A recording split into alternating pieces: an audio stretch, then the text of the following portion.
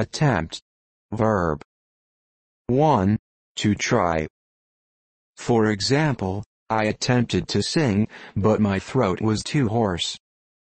2. Obsolete. To try to move, by entreaty, by afflictions, or by temptations, to tempt. 3. Archaic. To try to win, subdue, or overcome. For example, one who attempts the virtue of a woman. 4. Archaic. To attack, to make an effort or attack upon, to try to take by force. For example, to attempt the enemy's camp. Attempt.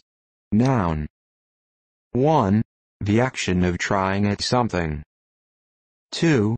An assault or attack, especially an assassination attempt.